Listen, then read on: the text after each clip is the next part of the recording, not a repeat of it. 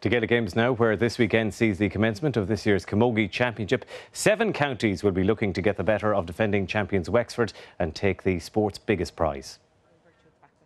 This Saturday, the race commences for the O'Duffy Cup. Dublin, Kilkenny, Clare, Cork, Offaly, Galway and Tipperary will all be hoping to scupper Wexford's bid for three in a row. three in a row will be unreal. So now, in saying that, I don't think the players look on it as three in a row. I think it's just more an outside thing. Like we're just kind of looking for another good year. Hopefully, start championship well, get over our first four matches, hopefully with a win, and hopefully get into the All Ireland semi final with a four good wins.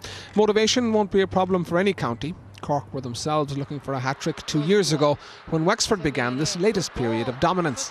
As you said, we dominated a few years back, so everybody remembers that. Nobody, I think the last two years, people have kind of, it's hurting them, so I think this year in particular, we're back on track, we're trying to get back on track anyway. The Camogie Association has made both format and rules changes this year. The two group winners progress to the semi final stage. The rest will battle it out in qualifiers and quarter finals.